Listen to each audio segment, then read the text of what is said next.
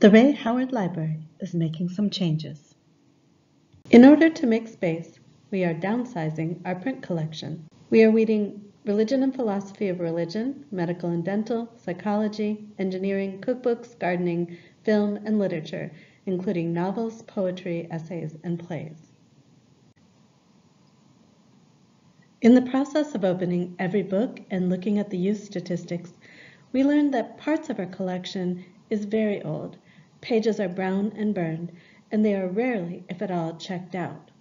Once we weed the older items, the gems will shine. Over the last three years, we bulked up our online collection to include about 145,000 ebooks, a much larger online periodicals collection, and a robust online encyclopedia collection. At the same time, we have heard from our students that they prefer print. Many studies bear this out. We also hear our instructional faculty noting students' lack of engagement with their textbooks.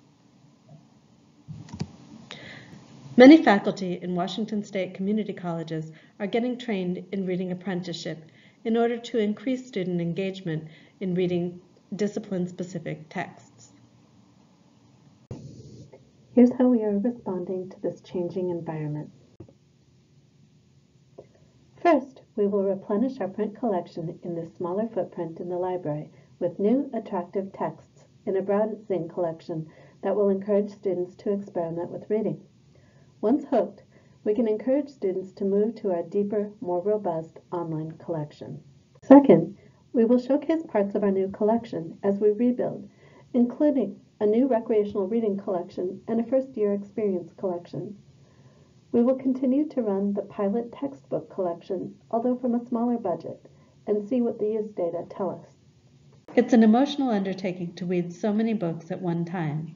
We look forward to partnering with instructional faculty to rebuild our print collection in order to create new opportunities for building reading into how our community learns. During summer, please visit our temporary digs in the Pub Fishbowl, room 9203.